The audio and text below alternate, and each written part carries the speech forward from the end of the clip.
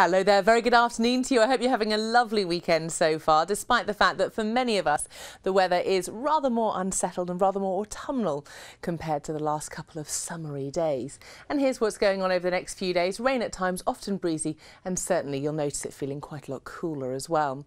Now, mixed fortunes as we look ahead to the rest of Saturday afternoon. Across the northern half of the UK, we've got rather more cloud here, rain at times, some heavy bursts in places.